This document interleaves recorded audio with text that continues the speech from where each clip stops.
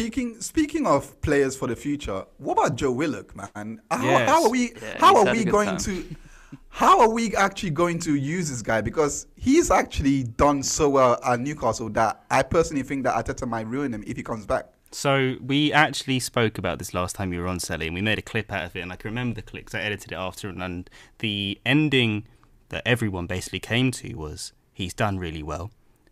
Newcastle really like him, but Yeah. everyone here said let's sell him. Do you still agree with that, or I- has he scored so many goals now that it's no, like no, no, no, ooh. sell him because His bec- ceiling's the highest because- right now that's ever going to Yeah.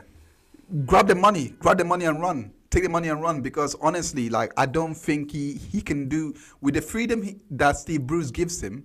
He can't do that at, at Arsenal because Arteta is just not. I don't think he would know how, how to use him, especially with Smith Rowe in, in in the team. Like personally, like personally, I think there is probably another Frank Lampard um, that goal scoring midf- midfielder, not ability, just the goal scoring aspect of, of his game. I think that he Yeah. he him coming back to Arsenal would just um Arteta, Arteta would, would would ruin him personally. I, I think just sell him and just get the money and run. I also think if you look at how Newcastle play, it actually suits the way that Joe Willock wants to play because he's often a late runner Yeah. into the box, and he also doesn't get that opportunity at Arsenal because of the way that we play football. We play a different style to how Newcastle play, and what works for him. And they also a lot of the time they say that different players work in different teams. I mean, if Joe Willock came back to Arsenal th- next season, I wouldn't be mad at it, but I don't feel like he's going to get the same game time he would at Newcastle. Therefore, he would be, you know, a bit part player in and out of the team. He'd struggle for consistency. At least he knows that Newcastle that he gets game time uh, pretty much every week. He might be on the bench one week, but he'll still get 20 or 30 minutes. Whereas Arsenal, he'd probably get one in three, one in four games. He might get a start. He might get a sub appearance. Like he needs to be playing at his age, and he can't. I don't think he can take the risk that he comes back to Arsenal. and Everything's going to work out.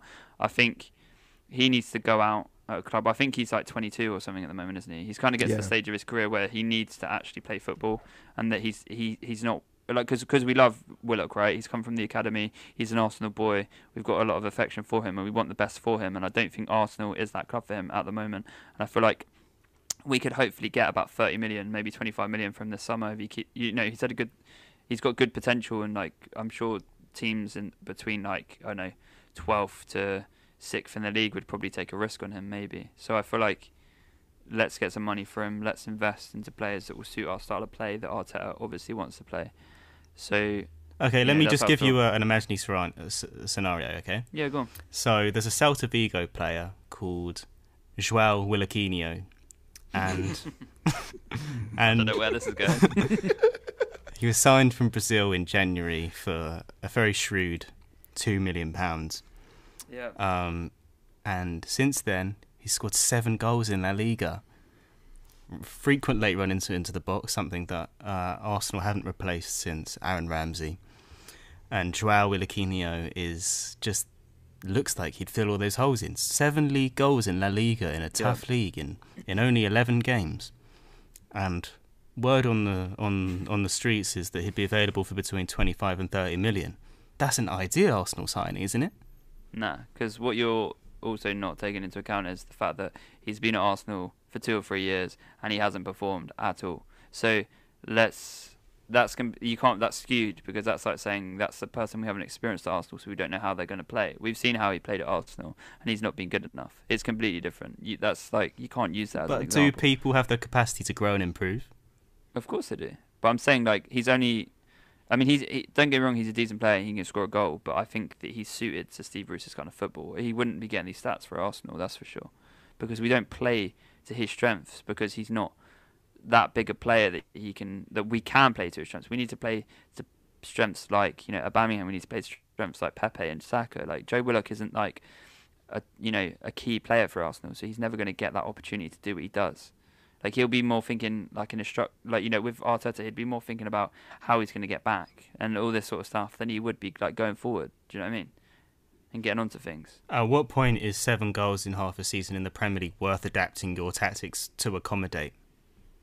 I, I don't think I don't know. I I I'd, I wouldn't absolutely hate the idea of him coming back for another season to see how it goes, but I feel like it's also one of the things. Whereas if he comes back for a season and he doesn't perform, then we lose 15, 20 million on his Yeah. price. Yeah. Yeah. So it's it's the risk it's the risk factor of that happening. And of Nah. course, I, I wouldn't even be against us saying we'll sell him for five to ten million cheaper, but we'll get a buyback clause on him. Do you know what I mean? I'd happily sell him to like Newcastle for twenty million, but then have a thirty million Put buyback buyback, clause. yeah. If, if he if he Yeah. comes if, if over the next couple of years he scores like I don't know, he gets like 15, 20 goals, you know, or like assists contributions, then we can buy him back. Do you know what I mean? And I feel like that wouldn't. We never do it with our players, and we never seem to do it, but have buyback clauses. And I feel this is actually be a good one to have. I I actually agree with you, and and there's today. something as well. Yeah. and there's something that you said um said, said in the his assist record because we we have only seen his goals um his the, the amount of goals he's getting. I personally want want to see if he can actually assist um uh more, but he hasn't done that. I don't think he's done it that much at at Newcastle, but um, He's got zero assists at Newcastle. yeah, exactly, exactly. So coming back to our team, and he's playing in, in midfield where assists is pretty much um how we it's pretty much how we play. Um, our our midfielders don't score except for the like the wingers like Pepe and etc. Yeah. Edmund Smith Rowe doesn't score that that much. He assists more. Odegaard, same thing. All those things like I haven't seen that side of his game, so I don't want the goals to kind of mask over his value because that's what Yeah. that that's what it seems to be doing. And also, play. We need to remember as well, like the sample size is small, and players do go through purple patches. That you Yeah. know, there's like Benteke is a perfect example of a player that had a one really good season, and then fell off the face of the earth. No, do he you had know what more I mean? than one Like, good season. I mean, he had one good Yeah. season with Aston Villa, and he didn't really have any more good seasons. He had He like, scored 14 or 15 in a season with Crystal Palace in his first season. Yeah, I don't believe he did. no, He no, did. that's why He they gave straight did. Yeah, yeah. Yeah, but um, fair enough. He's had two good seasons out of like twelve, so fair play to Benteke. that was so salty. Come on, man. Mate, we got. Have you got? You boys anything else you want to say? Because